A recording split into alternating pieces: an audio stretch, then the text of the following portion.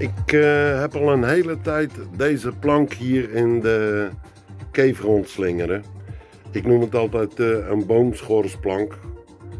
Maar het is een afvalstuk ergens van, maar het is zo krom als een hoepel. Het is echt... Uh, ik heb al geprobeerd om het andersom te leggen en dan nat maken en de gewichten opzetten dat het weer een beetje recht iets wordt. Maar dat is uh, mislukt.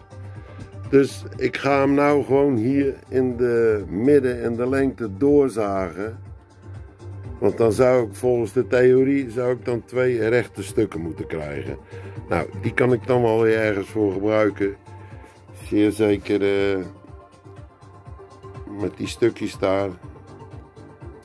Maar ik weet niet of het gaat lukken, of het ook daadwerkelijk recht wordt. Misschien moet ik wel een hele strook tussen uithalen.